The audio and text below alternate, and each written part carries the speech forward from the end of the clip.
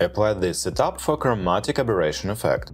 Create media holder composition where you will put your media or text.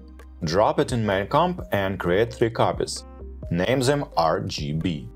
Apply Shift Channels effect to each layer. Then for R layer turn off green and blue, for G layer turn off blue and red, and for B layer turn off red and green. So now we can move RGB layers and get simple RGB split. But let's simulate chromatic aberration. Add optics compensation effect to each layer. Check on reverse lens distortion and start adjusting field of view for each layer. Depending on values for each layer, you can get different colors. I like to set bigger values for red and mid values for green. For final look, add blur and grain, so here is your chromatic aberration effect.